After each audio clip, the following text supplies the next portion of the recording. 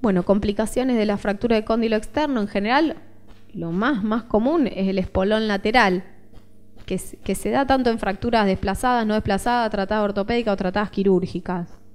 Se, recomienda decirle a los padres que, esto puede aparecer, o sea, que, es muy probable que el, que el chico, por más que la fractura esté bien tratada, le quede una pequeña saliencia en la cara externa del codo, que, puede quedar.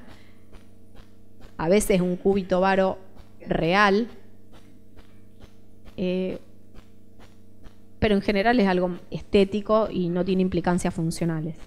Distinto a los casos de ya sea o retardo de la consolidación o una franca pseudoartrosis, como vemos en las imágenes que pueden o no estar asociadas a un deseje, que generalmente es un cúbito valgo, y a síntomas cubitales. También es controvertido el tratamiento de la, pseudoartrosis, en este caso fue tratada en forma quirúrgica, con un injerto, todo. Y otra complicación bastante infrecuente es la necrosis vascular de la tróclea. No sé si alguna pregunta hasta ahora o si más o menos se entiende. Eh, bueno, un, par de cosas de la fractura de, de epitróclea. Eh, son fracturas abulsivas y la epitróclea es una apófisis, o sea, no, contribuye al crecimiento del, codo, ¿no es cierto? Generalmente se dan en pacientes más grandes, arriba de los 10 años, o sea, preadolescentes y adolescentes. Acuérdense que la epitróclea es una de la, el último cartílago que se fusiona. Eh, y hasta un, hasta un 50% se asocia a luxación de codo. En ese, y alrededor de un 15% del fragmento puede estar atrapado en la articulación. También se asocia a fracturas eh, más que nada de radio proximal y de olecranon. O sea, por el mismo mecanismo de, de trauma a nivel del codo, podemos encontrar más de una lesión. Por eso siempre que vemos una, buscar las otras y tienen riesgo de eh, comprometer el nervio cubital, de tener síntomas eh, cubitales. El tratamiento también tiene sus, controversias. ¿En, qué se está de acuerdo? Que si la fractura está mínimamente desplazada, o sea, no hay tampoco un acuerdo al 100% de cuánto es el desplazamiento tolerable. Pero en general, si la fractura está hasta 5 milímetros de desplazamiento, se trata en forma ortopédica. A su vez, también hay acuerdo que hubo una luxación que ya, venga, ya sea que venga con la luxación aguda o que la, luxación está reducida, pero el fragmento está intraarticular, hay que hacer una reducción.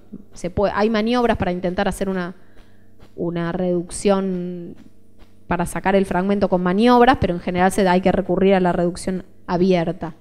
Lo que es controvertido es cómo tratar las fracturas desplazadas, cuánto, desplazamiento es tolerable eh, y cuáles tienen indicación quirúrgica. En general, se inclina más a, operar a pacientes que realizan actividad física, de, deportistas, eh, si, hay síntomas parestesias a nivel cubital y si es el lado eh, dominante. Si, optamos por tratarla en forma quirúrgica, se tratan con reducción abierta y generalmente con colocación de un, tornillo esponjosa. Y es muy importante en estas fracturas, independientemente del tratamiento, tratar que la movilidad sea precoz para, para evitar la rigidez del codo. Por ejemplo, esta, una paciente de 14 años, desplazamiento no es muy exagerado, pero bueno, hacía gimnasia deportiva. Le pasó haciendo gimnasia deportiva, bueno, uno busca estabilizarla, que quede anatómica y también eh, darle movilidad precoz con una osteosíntesis estable. Otro caso, un, un chico jugando al rugby, vemos en una luxación de codo y no se, no se termina de, ver bien acá, pero tiene el fragmento y cuando se hace la reducción, la reducción se hizo en, la guardia con un poquito de midazolam, ya se nota claramente la fractura de la epitróclea asociada. Bueno, también se, se le estabilizó, en este caso con clavija, que por ahí no es lo ideal, pero bueno, a veces la dificultad por ahí para conseguir la osteosíntesis rápido se, se optó por, por solucionarlo de manera precoz. Bueno, otra fractura más a nivel del codo, de radio proximal. Eh, la mayoría, a diferencia de los adultos, son fracturas a nivel del, del cuello, o sea, generalmente son fracturas extraarticulares que se pueden producir por un mecanismo de valgo o asociadas a, a luxación de codo, ya sea durante la luxación o durante la reducción. Lo mismo que la, la anterior, buscar fracturas asociadas de olecranon, de pitróclea o de cóndilo externo. Lo más importante de todo es esto, que todas estas fracturas tienen una alta incidencia de que quede un cierto déficit de pronosupinación. Eso también hay que avisar a, a los padres en general.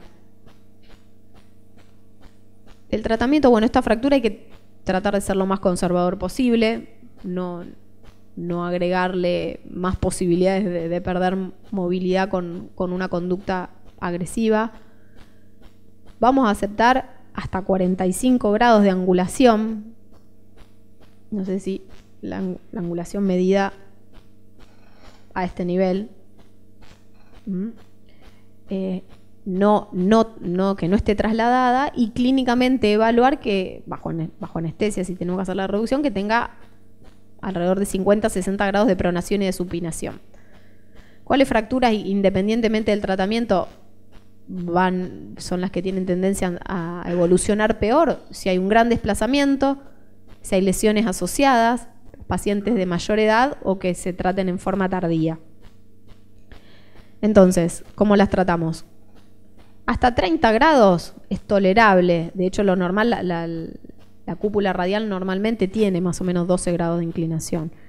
Entonces, hasta, hasta 30 grados podemos dejarlo así. Le ponemos una, una férula el tiempo que, requiera para, para desinflamarse, para que calme el dolor y tratar de que mueva precozmente.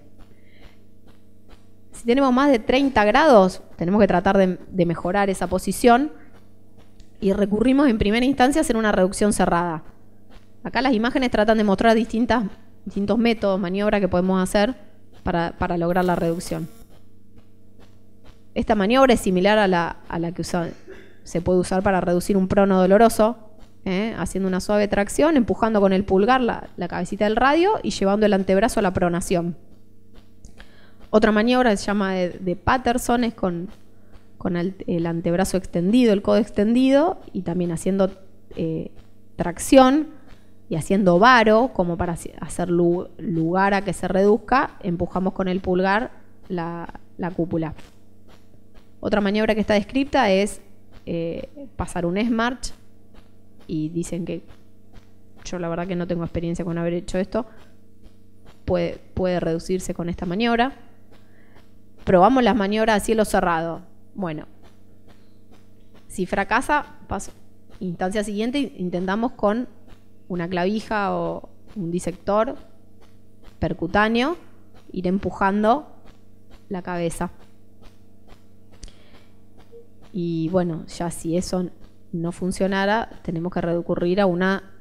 Ah, otro de los métodos, perdón, es hacer el método de Meteso, que es un enclavijado retrógrado, que un- uno va intro- introduciendo el clavo endomedular hasta enganchar la, la fractura, la- el fragmento proximal, y rota el clavo y reduce la fractura.